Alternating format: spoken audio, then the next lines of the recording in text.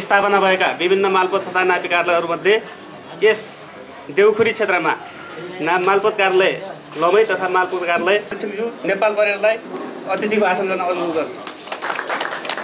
त्यस्तै श्रीमान सशस्त्र प्रहरी उपरज्यू सशस्त्र प्रहरीलाई आसन गर्न अनुरोध गर्छु त्यस्तै श्रीमान स्थानीय विकास अधिकारीज्यूलाई अनुरोध गर्दछु त्यस्तै म पार्टी प्रमुख तथा प्रतिनिधि नेपाली काङ्ग्रेसलाई आसन ग्रहणको लागि अनुरोध गर्दछु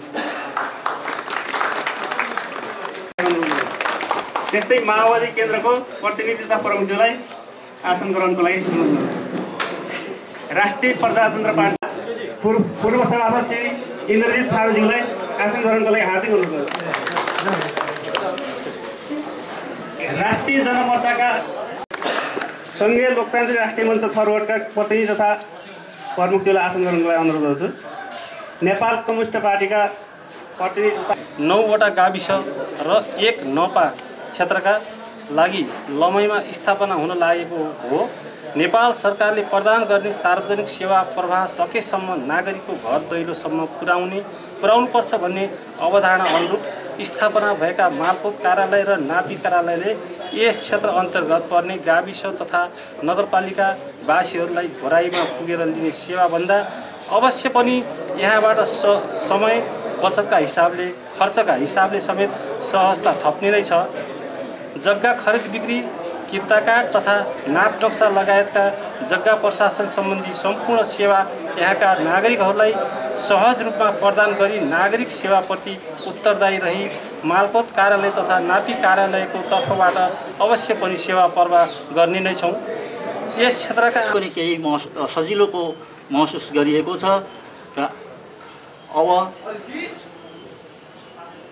नापी तथा मालपुत कार्यालयको उद्घाटनले सत्रले सेवाग्राहीहरू लाभान्वित हुनेछन् र अतिथिजीहरूबाट पनि मन्तव्य राख्ने क्रम भएकोले र छोटो बोल्ने उद्घोष पूर्व उद्घोषक मित्रले भनेको हुनाले मेरा आफ्ना दुई शब्दहरू यहीँ अन्त्य गर्दै बिदा हुन्छु। नमस्कार।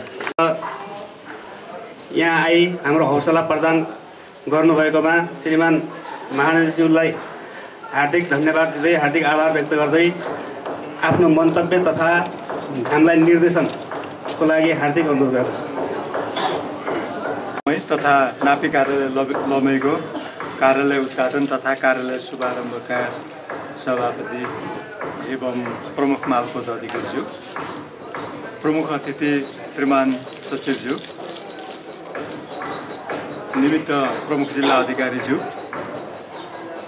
सुरक्षा निकायका प्रमुखज्यूहरू स्थानीय विकास अधिकारीज्यू यो नागरिकले पाउने सेवा अझ सहज व्यवस्थित गुणस्तरीय र प्रभावकारी हुने थियो। त्यसकारण साथीहरूलाई कुनै स्रोत साधनको कमी हुने छैन।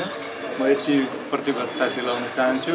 साथीहरूलाई जनशक्ति पनि हामीले उपलब्ध गराएका छौँ।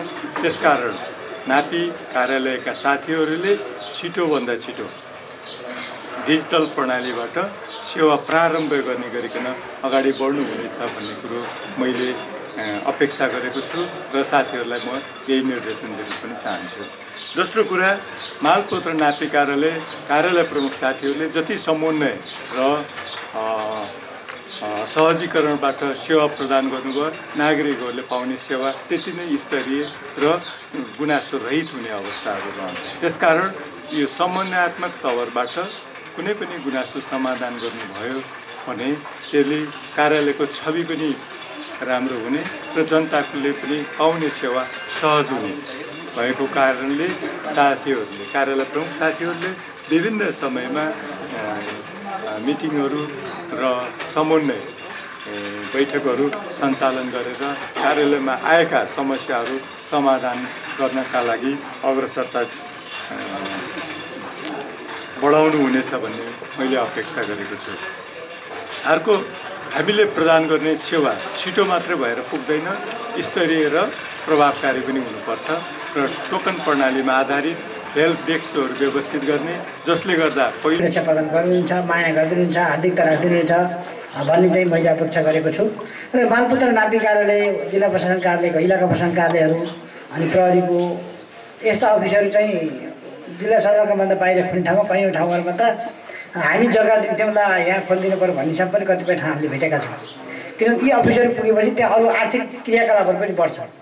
मान्छे चाहिँ अब एउटा अफिसमा जग्गा नामसारी गर्न पऱ्यो अथवा नाम संशोधन गर्न पऱ्यो अथवा चाहिँ जग्गा रजिस्ट्रेसन गर्न पऱ्यो भने दिनभरि लागिहाल्छ छोडेर एकदम छिटो भएमा। अनि त्यसो भएपछि चाहिँ दिनभरि त्यहाँ बस्नेपछि केही किन्ने केही खाने केही ल्याएको कुरा बेच्ने आफूले उत्पादन गरेर यस्तो एक्टिभिटी आर्थिक क्रियाकलापहरू हुँदाखेरि त्यहाँको बजारलाई चाहिँ के भन्दाखेरि विकास र विस्तार गर्न पनि यस्ता अफिसहरूले चाहिँ सहयोग पुर्याउँछ। अनि यो मालपोत कार्यालय भनेपछि जग्गा हुँदैन भने मान्छेलाई पनि यो हामीले चाहिँ जग्गा दिने अफिस दिए यसैले भन्ने पनि छ भनेपछि सुकुम्बासीदेखि लिएर र राष्ट्रपतिले पनि जग्गा बेच्न पऱ्यो भने लमैको जग्गा बेच्न पऱ्यो भनौँ न त्यसको कार्यकारी अहिले त उहाँको छैन उता पूर्वतिरको हुनुहुन्छ। दाङको भोलि हुनुभयो राष्ट्रपति कोही भने पनि अथवा प्रधानमन्त्री हुनुभयो भने म जग्गा बेच्न यहीँ आउनुपर्छ काठमाडौँ गएर बेच्न पाउनुहुन्न। पहिला पहिला बेजिल्लाको पास व्यवस्था थियो। अहिले छैन। त्यसो हुँदाखेरि हाम्रा अफिसहरू चाहिँ सुकुम्बासीदेखि लिएर देशको सबैभन्दा ठुलो मान्छेमा आउने अफिसहरू हो त्यस्तो अफिस हो। त्यसो भएर चाहिँ यहाँहरू सबैले माया हार्दिकता राखिदिनुपर्छ। र हाम्रा साथीहरूलाई पनि चाहिँ के भन्दाखेरि साह्रै सुटेर पिटेर एकदम जाने बुझेको मान्छे चाहिँ छ कोही चाहिँ नेतै छ भने उहाँहरूले आफ्नो कुरा भन्न सक्नुहुन्छ। उहाँलाई तपाईँहरूको काम के थियो भनेर नसोधिने हुन्छ जस्तो लाग्छ। आफैले भन्न जान्नुहुन्छ। जो मान्छे कैयौँ मान्छेहरू गाउँबाट आउनुभएको हुन्छ त्यो अफिसको कुनै छेउमा बस्नुहुन्छ के छ भन्दाखेरि भन्न नसक्ने मान्छे हुन्छन्। उहाँहरूलाई कमसेकम के छ तपाईँको काम भनेर सोधिदिने। र दिनमा त्यस्ता आठ दसजना मान्छे दुई पाँचजना मान्छे आउन सक्छन्। सोधिदिने र अनि चाहिँ के मेरो यस्तो थियो भने कमसेकम चाहिँ फाटमा गएर प्रमुखले चाहिँ ल उहाँको काम के हो हेरिदिनुहोस् ल केही रहेछ भने मलाई पनि भन्नुहोस्। भन्ने जानकारी त्यतिसम्म राखिदिन सकियो भनेदेखि त्यो अफिस उत्कृष्ट हुन्छ जस्तो लाग्छ मलाई। साथीहरूले चाहिँ त्यो बारेमा प्रमुखज्यूहरूले आफ्ना कर्मचारीहरू के काम गर्दैछन् दिनभरिमा कति काम गरे कसो गरे भन्ने कुरो चाहिँ थाहा पाउनुभयो भने त्यसले बेटर हुन्छ भन्ने मलाई लाग्छ। हाम्रो गङ्गाराम बडा यहीँ हुनुहुन्छ यहाँ यो अफिसकै सुनासो हुनुहुन्छ। पहिला मसँग काम गरेको थिएँ म प्युटनमा थिएँ। प्युटनमा चाहिँ कर्मचारीलाई काम गरेर भने एकदम फुर्सदै छैन हजुर भनेर भन्नेमा तपाईँले दिनभरि के काम गर्नु होला? तपाईँको चाहिँ दाखाली भेट्टाउनुहोस् कति पूजा गर्नुभयो त्यो पनि हेर्छु। अनि रहने राजनीतिक दलका प्रमुख तथा प्रतिनिधिहरूले पनि यसलाई महत्त्वको साथ हेरिदिएर हाम्रो हामीलाई समय दिएर हौसला प्रदान गर्नुभएको छ। उहाँहरूलाई पनि विशेष धन्यवाद दिन चाहन्छु। त्यस्तै सञ्चारकर्मीज्यूहरूलाई पनि विशेष धन्यवाद दिन चाहन्छु। नगर विकास समितिको अध्यक्षज्यू त्यस्तै गरेर उद्योग वाणिज्य सङ्घको अध्यक्षज्यू त्यस्तै गरेर हाम्रो चाहिँ घुराइबाट पाल्नुहुने सहायक प्रमुख जिल्लाधिकारी लगायत सम्पूर्ण कार्यालय प्रमुखजीहरू सुरक्षाकर्मी निकायका प्रमुखजीहरू लगायत सम्पूर्णले चाहिँ सहयोग दिएर नै आज हामीहरूले चाहिँ यो उद्घाटन सत्र चाहिँ भव्यका साथ सम- समापन गर्न के अरे सम्पन्न गर्न चाहिँ पाएको अवस्था हो। त्यो भएको हुनाले आगामी दिनमा पनि यो सहयोग यो सद्भाव यहाँहरूको चाहिँ मलाई सधैँ पनि रहनेछ। म चाहिँ मैले भनिहालेँ बहत्तर साल असोज चौध गते निर्णय भएको निर्णय कार्यान्वयन गर्न चाहिँ मन्त्रालयबाट कुनै पनि उपसचिव चाहिँ यहाँ नतोकिएको अवस्थामा म जान्छु मेरो क्षेत्र त्यतै हो म जान्छु म गएर काम गर्छु उदाहरण गर्छु के म कार्यालय सञ्चालन गर्नलाई म चाहिँ त्यहाँ शुभारम्भ गर्छु म भनेर चाहिँ मैले भनेपछि म यहाँ आएँ। यो चाहिँ भनौँ न अझै पनि कोही आउने चाहिँ आँट नगरेको भए सायद अझै पनि केही समय चाहिँ यो उद्घाटन चाहिँ यदि हामीले चाँडो गर्न सक्ने सक्ने थिएन होला। त्यो भएको हुनाले यहाँहरूको सम्पूर्णको सञ्चारकर्मी लगायत यहाँको चाहिँ सम्पूर्ण महानुभावहरूको चाहिँ मलाई चाहिँ सहयोग हुने नै छ। काम गर्दाको अवस्थामा कुनै कमी कमी कमजोरी भयो भने पनि यहाँहरूले चाहिँ मलाई चाहिँ यो यस्तो भयो भनेर चाहिँ पहिले नै सचेत गराउनु नै हुनेछ। त्यसमा मैले चाहिँ अवश्य पनि यसलाई चाहिँ न- न- नजरअन्दाज गर्ने नै छु। र यो म आउने बेलामा घर रातो डाँडातिर राख्ने कि त्यसपछि यहाँ तल नगरपालिकाको छेउमा राख्ने कि भनेर चाहिँ एकदम म विवादको बिचमा चाहिँ घेरिएको थिएँ। केही माथिको पक्षको चाहिँ मा माथिको चाहिँ रातो डाँडाको पक्षको मान्छेहरूले पनि त्यतै राख्नुपर्छ भन्ने र यहाँको मान्छेहरूले यतै राख्नुपर्छ भन्ने भावनाले यो मिड पोइन्टमा मिड पोइन्टमा चाहिँ हामीलाई घर उपलब्ध उपलब्ध गराइदिने घरबेटीज्यूहरूलाई पनि विशेष म चाहिँ धन्यवाद दिन चाहन्छु। र त्यस्तै गरेर अन्य सम्पूर्ण महानुभावहरूलाई एकदम हृदयदेखि धन्यवाद दिँदै यो कार्यक्रम आजको यो उद्घाटन सत्र म केन्द्रबाट पाल्नुहुने सचिवज्यू महानिर्देशकज्यू हाम्रो घोराइबाट पाल्नुहुने प्रमुख सम्पूर्ण कार्यालय प्रमुखज्यूहरू र यस क्षेत्रबाट चाहिँ आउनुहुने सम्पूर्ण महानुभावहरूलाई म विशेष धन्यवाद दिँदै यो कार्यक्रममा आइदिनु भयो। यहाँहरूलाई चाहिँ आ- एकदम म भित्र हृदयदेखि नमस्कार गर्दै म यो कार्यक्रम यहीँ समापन भएको जानकारी गराउन चाहन्छु। धन्यवाद।